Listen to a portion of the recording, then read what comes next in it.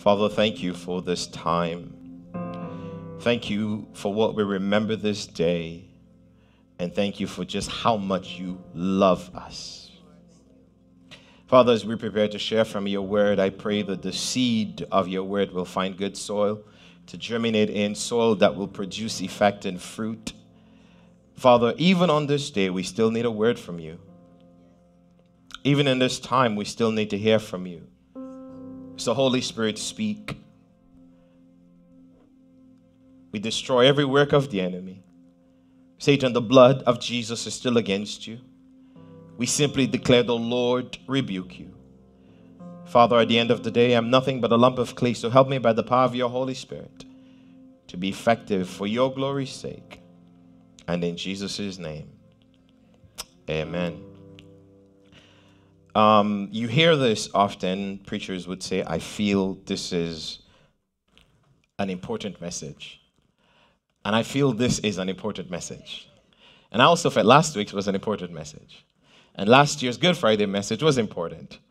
Um, but this message is very important because I think some of us could relate to what we are talking about today. We are going to glean from the Gospel of Luke, chapter 23, uh, from verse 50 to 56. And it says, Now behold, there was a man named Joseph, a council member, a good and just man.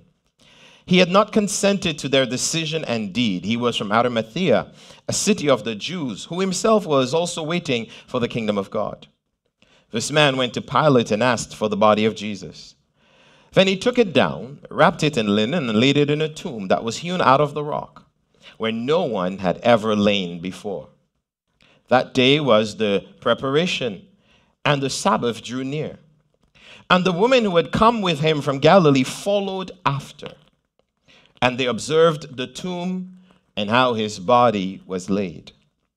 Then they returned and prepared spices and fragrant oils, and they rested on the Sabbath according to the commandment.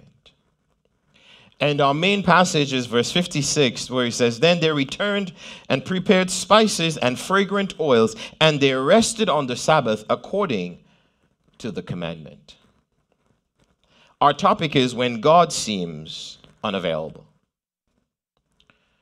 I don't know if you've ever been there, and I, if you keep living, you will come to a point where you feel like you are calling and you're not even getting a voicemail when you call heaven. Not even a callback. Not even one of those automatic uh, text messages that people send back, call you back, or I'm on the phone. When God seems unavailable. The events in the life of Christ reveal that we serve a God who allows certain things to happen for a certain period, for certain reasons. God allows certain things to prepare us for what is coming. If you read the passage and the gospel accounts, you would find that there is a feeling, a sense of urgency in the events that happened before Jesus went to Calvary. He shows up to Jerusalem on Sunday. Monday, he turns over the tables in the temple and he gets the attention of the Sanhedrin council. By Tuesday, they have decided to kill him. By Wednesday, they find a co conspirator named Judas. By Thursday, he is arrested in the Garden of Gethsemane. He's arrested around 9 p.m., and by 3 p.m. on Friday, he's dead. All that happens in about 18 hours. In 18 hours, the 72 member Sanhedrin council is convened at night, which is illegal. But also, you know, nobody gets anybody out of their house to show up at that time at night if they don't have to. So they gather, they conspire, and they convict Jesus on a charge they know he's not guilty of. Then they drag him to Pilate's house all at night. Pilate doesn't give a verdict. So they take him to Herod, who also does not give a verdict, and they take him back to Pilate. All of this between midnight and 6 a.m. By 6 a.m., a crowd has now gathered outside of Pilate's house. And the Sanhedrin Council has now found people who they've paid to show up at 6 a.m. to lie on Jesus. These people show up, they lie. Pilate convicts him on the charge he knows he's not guilty of. Jesus is beaten, he's stripped, he's forced to carry a 120 pound cross through Jerusalem up the mountainside of Golgotha, and within 18 hours, he's nailed on a cross to be crucified. Why the rush? Why the hurry to get Jesus on the cross? The answer is that because by sunset, Passover begins. By the way, let me say this this is a unique year because it just so happens that this very day, today, April uh, what 15th, by sunset, Passover actually begins. And so this is significant for us as believers because I have, and I've taught this, and we believe it that when when the the biblical feast happens, the portals of heaven are open in a special way. So this is a season to experience God in a special way. Where, where Good Friday and actual Passover Passover lines up, and so so they got to get him on that cross. They got to get him uh, all, all, all buried before sunset happens, because Sabbath or this Passover is a Sabbath day, a high Sabbath a holy day. And they know that they can't crucify Christ during Passover celebration. If they don't get him on the cross before sunset, all the thousands of Jews who came to Jerusalem will leave and go back. And then the Pharisees would have missed their opportunity to publicly crucify Christ in the presence of so many so that they can go home and tell folks that the Jesus thing is over. There was a rush to get Jesus on the cross so that the Jesus move can be done and over with. So he's on the cross by noon. By 3 p.m., he's dead, and the rush continues. A member of the Sanhedrin council named Joseph, who is from the city of Arimathea, he goes to Pilate and he asks permission to get the body of Jesus. He's raised, rushing against the sun. He needs to get Jesus off the cross, wrapped up, and the tomb sealed before the sun goes down because the Jews were prohibited from doing work on the Sabbath. If he does not succeed, Jesus' body will possibly get burned by the Roman authorities. So Joseph is hurrying, and the Bible says there were some women who had followed Jesus all the way from Galilee. There were some women who had followed Jesus all the way from Galilee. Aren't you glad for the faithfulness of women who followed Jesus all the way from Galilee? These women were with him from the beginning. So there was Mary, his mother. There was Mary Magdalene. You know, she loved him so much that she poured oil, expensive oil, on his feet and washed it and, and, and dried it with her hair. That's the kind of women that followed him, devoted, passionate women. There was Mary and Martha. They, they loved Jesus. And, and, and I believe maybe Jairus' daughter was there. And maybe the woman with the issue of blood was there. And maybe the woman from the well at Samaria was there. Maybe even Peter's mother in law was there. There were some women, the Bible says, who, who followed him. I wonder if the bent over woman had showed up. Many of the, the women who, who Jesus blessed is now following Joseph as he buries the body. But I want, I want you to note in the passage, they are following behind a dead body. For, for them, it's, it, it, it's not over. They, they, they must have found it hard to accept that it ended like this. They must have had a hard time processing how things went so bad so quick. Sometimes in life, you will find yourself following behind a dead thing, hoping you can do one more thing to save it. They are following because they want to anoint his body properly. Problem. Or somebody said last night, plot twist the sun goes down. And the laws of Sabbath now blocks them from doing more. And all they can do is watch him buried. Watch their miracle worker be buried. Watch their waymaker be buried.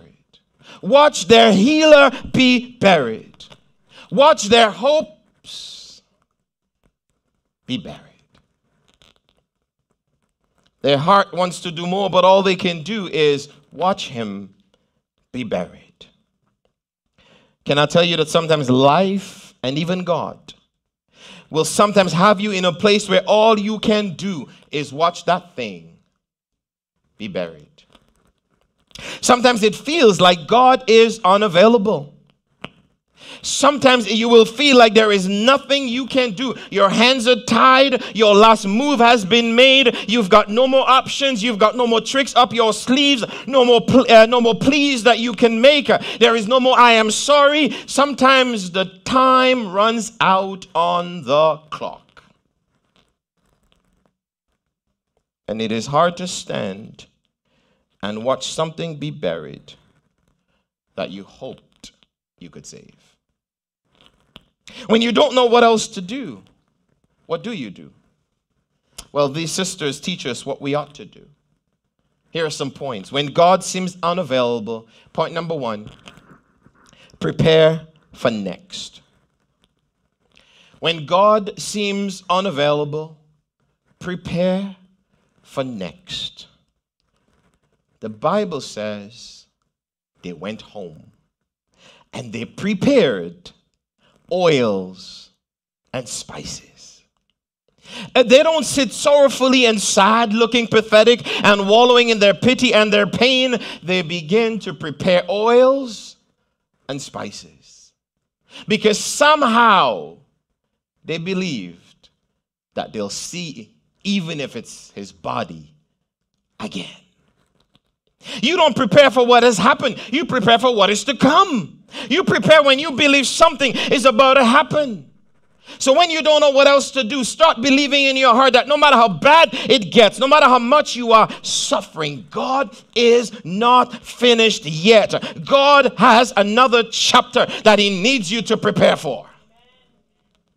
God is not finished with us yet. God has more He wants to do in us and through us and for us. And God is saying to us on this Good Friday prepare, believe that the story is not ended. I will do something else. I may not know how. We may not know how He's going to do it. We may not know when He's going to do it, but we got to be prepared because He will do it. An empty cross tells us that no matter how much pain you've had, no matter how hard it got, choose to believe that if you're still here today, God is not finished with you yet. As a matter of fact, the Bible declares, eyes have not seen and ears have not heard. In other words, you've not even dreamt of the magnitude of God's goodness and God's power and God's blessings that He has in store for you. The Bible says, I know the plans I have for you. I'm saying to you, God is not done yet. So they are preparing after the sun has gone down. I want you to get the picture. They are getting ready for the next chapter in the dark. Hmm. It's gotten dark, but they're still believing something better is on the way. For, for many of us, when life gets dark, we don't get ready, we give up. When, when we don't know what's going to happen, we throw in the towel. But these women believed God. And when it got dark, they trusted God, even though it got worse. I want you to understand that in Jewish culture, a new day begins when the sun sets, not when the sun rises. In other words, the new day starts when the sun goes down. And God is doing a new thing every time darkness comes over your life. When it gets dark, don't give up because that's when God is up to something. When it gets dark, is the realization that a new dawn is about to break on your life. I shared with the ladies a few weeks ago when you go to the NAC or you go to the, the, the, the, theater, when the movie is about to start, how do you know the movie is about to start? The lights go down. The show is about to start. God's about to do his masterpiece. God's about to do something when it gets dark. So, so yes, the light has gone out in your life. You don't know what to do. But here's what I'm saying. Here's what these women are saying. Prepare for the next chapter because the darkness that you are in right now is a sign that God is getting ready to start a new chapter. Point number two purposefully remain obedient. You see, I, I want to make sure, and we have been doing this, and, and we did it last week. You see, when it comes to services like Good Friday, some people uh, do church because it's tradition, is what we know. But the cross is meant to have meaning in our lives. So I'm trying my best to preach something that you can walk out of here more than just, I have fulfilled my Christian duty. I went to church at Easter. Purposefully remain obedient. What am I saying? I'm saying when it gets dark, when God seems unavailable, keep doing what God says to do. The Bible says they rested on the Sabbath according to the commandments. Remember the commandments, keep the remember the Sabbath day and keep it holy. So even though Jesus is dead and their hearts are broken, even though that is not what they prayed for, they still obeyed God. Even though they did not get what they prayed for, they still obeyed God. What am I saying? Even when we are disappointed, still obey God. Even when we're in pain, still obey God. Even when God seems distant, even when it seems like God is not listening, remain obedient to His word. You see, as humans in seasons of extreme disappointment, we tend to excuse disobedience. We think God will give us a pass. God understands. God knows what we've been going through. No, when you think that way, you're only trying to convince yourself that you can live life on your own terms without abiding by God's words. Have you ever said, Why pray if nothing changes? Maybe you didn't say it. Have you ever thought? Have you ever wondered, nah, nah, nah, nah, nah, nah. Have you ever wondered why keep giving? Nothing's changing. I, I know you don't give at all because you don't see other people's lives are being changed. Why keep, have you ever wondered why keep going to church, braving the bad weather, or, or waking up early in the morning and nothing changes? We often excuse our disobedience because of our disappointments. And these women are showing us that even when life does not turn out the way we want it to, we should never abandon the principles of God. When your heart is broken, God's word still works. When life does not go your way, God's word still works. When you don't get your desires, the word still works. When you don't know what to do, the word still works. When you don't get what you want, the word still works. When things don't go your way, still love your neighbors as yourself. When life hurts, still trust in God with all your heart and lean not to your own understanding. And in all your ways, acknowledge Him, and He shall direct your path. The word still works. When the bottom falls out, still learn to pray without ceasing. Still wait on the Lord and be of good courage because He will strengthen your heart. The word still works. When pain and betrayal and relational conflicts come, still choose to forgive them that despitefully use you and choose to not fret yourself over evildoers. When life hurts, still choose to hold to God's hands and trust God because God's word still works. So when God seems unavailable, prepare for the next chapter and purpose to remain obedient. Point number three purposefully let go so God can take charge. When God seems unavailable, prepare for what's next. Purposefully remain obedient. Purposefully let go so God can take charge. I want you to imagine these women. They, they, they loved Jesus and they, they want to show him their appreciation. And we can say this because one of them, I mean, we, we saw how, how passionate she was pouring that expensive oil and, and the, the measures to which she went. And so we can assume that they clearly wanted to do what was right by the Lord. They wanted to anoint his body. They wanted to lay their hands on the dead body, but the rules of the Sabbath says you can't touch him.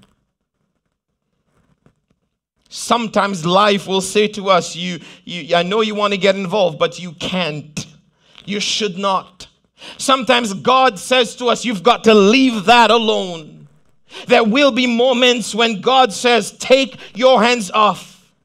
There are going to be moments in life when God says, Stop dealing with that. You can't fix him. You can't fix them. You can't fix it. You can't change that. You can't save that. Take your hands off.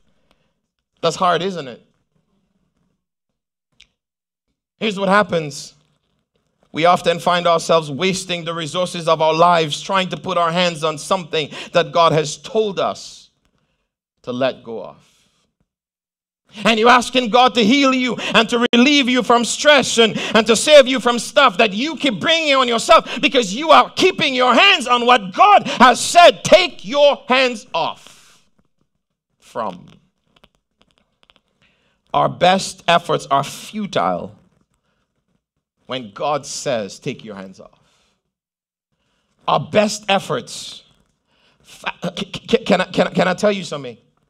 and this is not a contradiction but but but but fasting for a thing or or, or, or, or, or believing for it or doing something for a thing that god says take your hands off only will lead to your frustration and your disappointment in god Am, am I making sense? I'm not saying don't fast. I'm not saying don't pray. But I'm saying when God says take your hands off, you better take your hands off and say, God, what do I do? Fine, you don't want to put my hands, but where do I put my body? Where do I put my mouth? Where do I put my energies? It's hard news. But here's the good news. When you take your hands off what God tells you to take your hands off, God will put his hands on it. You, you, you've got to take your hands off for God to put His hands on it. Can I tell somebody, you've got to take your hands off for God to put His hands on them? You, you, you think the prodigal son was not giving issues at home? He was giving some issues. He didn't just wake up one day and started saying, I want out of here. But finally, the father says, You know what? I'm taking my hands off. You want to leave? Bon voyage. Am I making sense? And, and, and he, he, he decided to do something else with his body. He said, I'm going to put myself on the veranda and wait. I'm going to sit on the porch every day. Instead of trying to have conversations to convince you that you shouldn't leave and here is better for you, I'm going to sit, I'm going to let you go, and I'm going to sit and wait. Am I making sense? For when you return. We, we've got to learn to let go and let God have His way. God knows how to take care of things. Your hand is interfering with the hand of God. Somebody, your overworking is interfering with God's ability to bless you. I know you don't understand that, but it, God has a way of blessing you if you would follow His principles. Some of you, your family struggles. You, you're so engaged in it, you're so pressured and burdened by it, and God is saying, Take your hands off. Stop trying to convince everybody of things of what's best for them. Our efforts often interfere with God's will. So we've got to learn to step back and let God have it. It was I was reminded a while back that part of the reason you know a person is called to the ministry because they love to feed people. And so they reminded me that I love to feed people in the natural. Um, if you're around me and, and, and uh, it's a matter of time, the question comes up Do you want something to eat? And the Lord has helped me that I can open any fridge and find things and make something out of it. And I, I have some young adults to testify.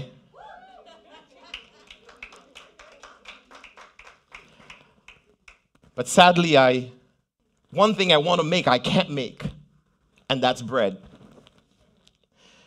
The other pastor in this church got that gift. but I tried to make bread, and thank God for Sister Natalie and Sister Ophelia, it's always good. But deep in my heart, I know it's nothing but love that's speaking right now. Because after 20 minutes of that bread, it's hard as rock. But they say, it's good. That's because I gave it to them when it's hot. But, but, but here is something that I have learned in attempting to make bread. You need flour and yeast and water and salt, and, and you got to mix all of that together and, and your hands have got to get in there. And I'm not talking about people who put it in a machine and hey, if that's what you do, but but I mean real bread, you know, you you get your hands all up in there. You don't take the fork and twist it around, mix it up. No, no, no. You get all in there, all in your you know your nails and and and and you mix it all together. And and you got to get your hands in it. But here's what I have learned: at some point, you've got to take your hands off you got to take your hands out. You got to wrap that thing up and let the yeast make it rise. Let the yeast do the work. Because as long as your hand is in it, it'll never rise. It'll never be what it is supposed to be as long as your hand is in it. Because there's the possibility of over kneading the dough. Some of us have gotten hard spiritually because we've been over kneading. Hmm. and God is saying, take your hands off. Let me give you number four real quick. Let me give you number four real quick. Prioritize assembling with the brethren. Yeah, I'm going there. Prioritize assembling with the brethren. What am I saying? Prioritize church. Because there's something, there's a reason why the Bible says, do not forsake the assembling together of the brethren. Do you think God did not know COVID was coming?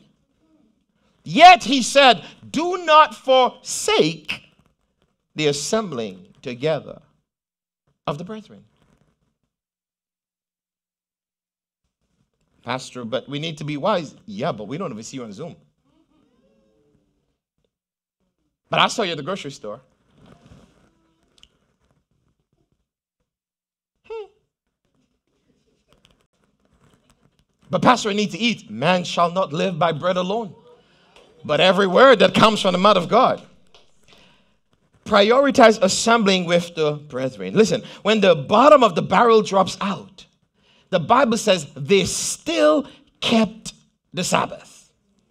You know what happened on Sabbath? They went to church. They gathered with the brethren and they worshiped even though Jesus was dead, they still gathered and worshiped. I'm saying that even though your heart is broken, still come and worship.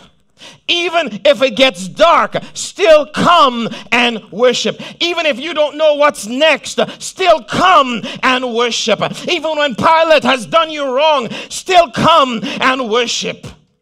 Even when you can't find a reason to worship, that's all right. Just lift your hands. Sometimes just showing up is the greatest act of worship. Even with no money, come and worship. Despite what the doctor says, come and worship. For true believers, church attendance and worship are not optional. You heard me. For true believers, for those whose names are certainly written in the Lamb's book of life and they know it, church attendance and worship is not optional. For true believers, church is not just an Easter thing or a Christmas thing or a baby dedication event. True believers prioritize church affairs and Christian fellowship. Why? Because it reflects how much God is worth to us. So, how much is God worth to you? Can I tell you something that I've learned? God's worth to me goes up when life for me goes down. When life begins to go downwards and I stick and I, I, I, I, remain obedient and I prioritize assembling of the brethren, all of a sudden God's worth for me goes up. You know, when you are investing, they tell us that best time to get in is when things are going down because you make more money than those who invest when it's rising. You see, those who invest when things are sinking realize that sooner or later, things have no choice but to go back up. And then the profit increases and the value increases. So when life seems un- when, when life hurts, when God seems unavailable, choose to prepare for what's next. In other words, get ready for what God is about to do. When it seems to get worse, when life seems to get worse, choose to purposefully remain obedient. Obey the word that works. After you've prayed and you've fasted and others have prayed for you and nothing changes, choose to purposefully let go so that God can take charge. Learn when to take your hands off even when things get dark. Choose to prioritize the gathering together of the brethren. Choose to stay in connection with the brethren. Let's stand.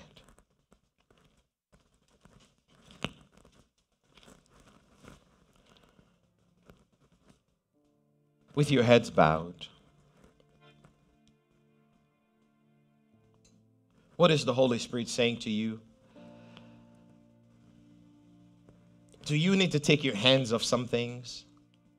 Do you need to take your hands off someone? Do you need to take your hands off a situation? Do you need to stop needing a particular relationship? Where is God calling you to return to obedience? Have you been praying for next but not preparing?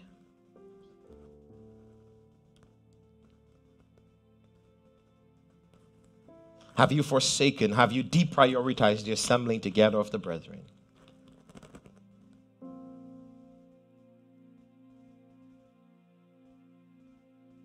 God can help you today.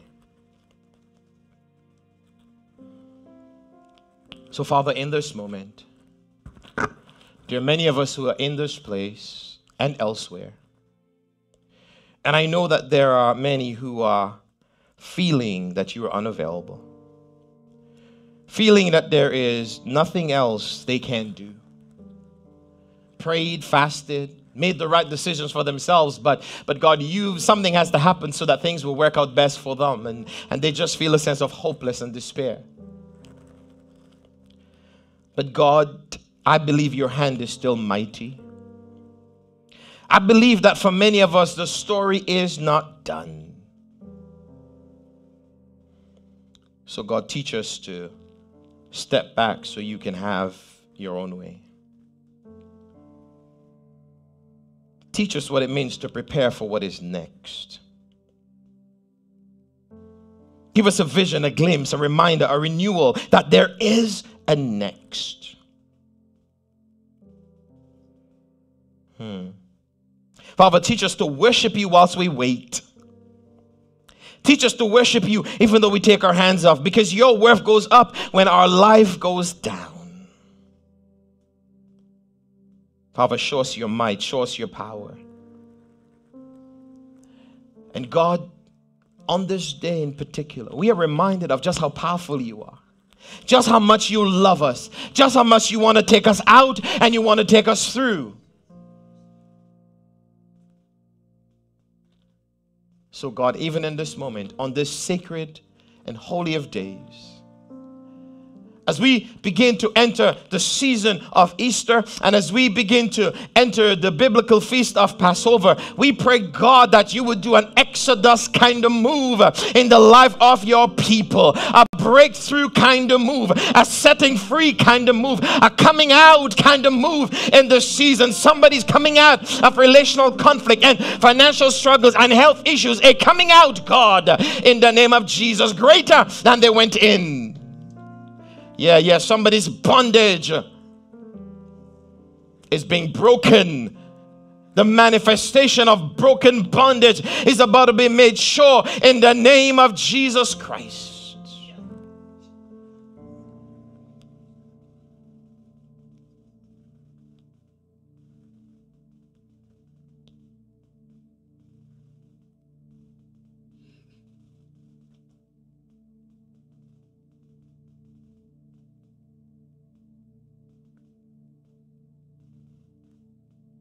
Holy Spirit.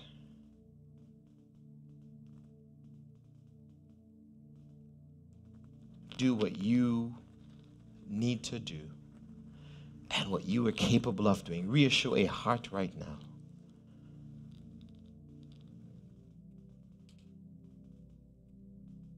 Father, we have prayed these things in Jesus' name, and now we give you praise.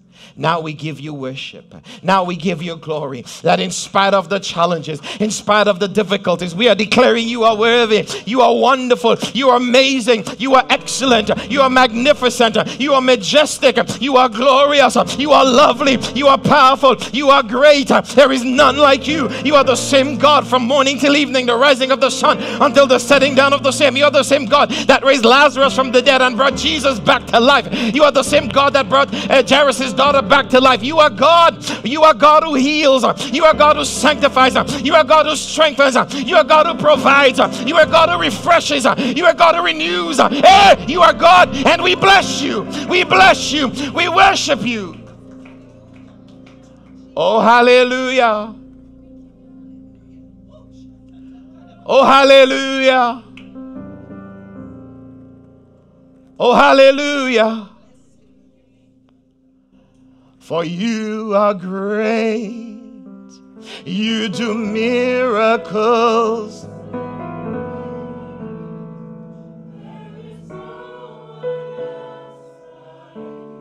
Hallelujah. There